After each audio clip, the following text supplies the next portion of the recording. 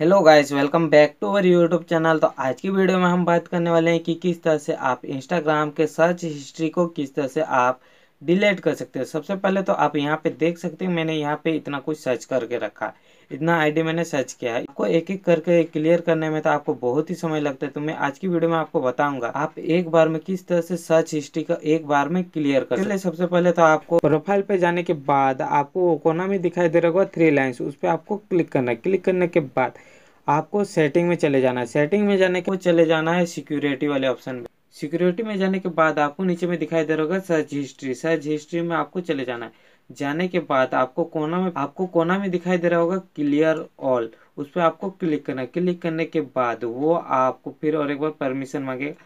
उसको सिंपल से डन कर देना। इसके बाद आपका सारा सर्च हिस्ट्री वो डिलीट कर देगा। आई होप आपको वीडियो नॉलेजेबल लगा। तो मेरे चैनल को सब्सक्राइब कर दिए बेलाइकन को ज़रूर दबाए और वीडियो को लाइक कर दीजिए। धन्यवाद।